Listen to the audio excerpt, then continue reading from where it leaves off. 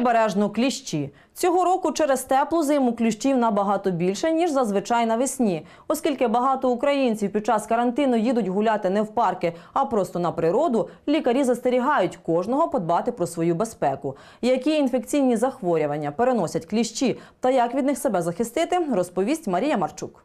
Смотрите, чуть-чуть прохожу. Какое количество клещей. Сейчас. Мне приходится себя снимать. На цьому відео житель Боярки Андрій Акуло показує, як прогулянка по лісу за березовим соком перетворилась на справжній улов кліщів. Він говорить, у цьому році паразитів надзвичайно багато. Може, на протязі 10 років я ходжу збирати березовий сік кожної весни. Ну і так я досить часто буваю на лісі, на природі, тому контактую хоч не хоч з кліщами досить часто. До такої кількості як в цьому році ну, я бачу вперше. А їх дуже багато було на вас? Немало, мабуть, за один раз, ну більше 20, від 20 до 30 штук було таке. Е, Там певні ділянки.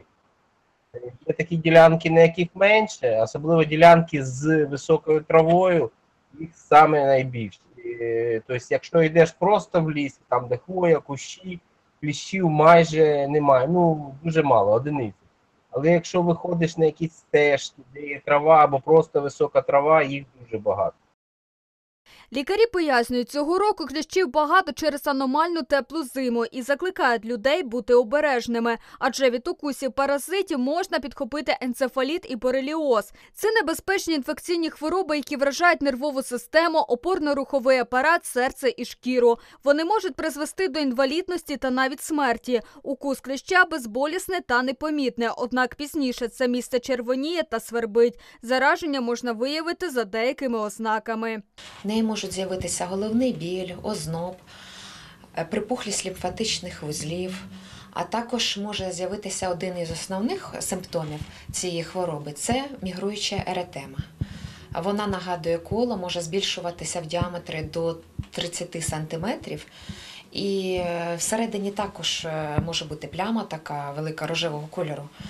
І от ця мігруюча еретема вона має здатність збільшуватися. І от це є такою основною ознакою цієї хвороби. У цьому випадку потрібно негайно звернутися до лікарні. Під час карантину медики надаватимуть допомогу за новими правилами. Якщо кліщ вкусив людину і присмоктався до неї, то е, лікар має бути е, в захисних окулярах, масці, в перчатках, в захисному одязі, ну, по крайній мірі, халат медичний, це як мінімум. Пацієнт має бути в масці і в перчатках. Андрій Акула має власні поради, як захиститися від укусів кліщів. Раджу там заправляти штани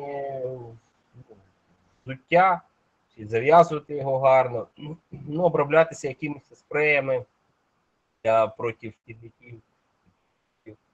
От.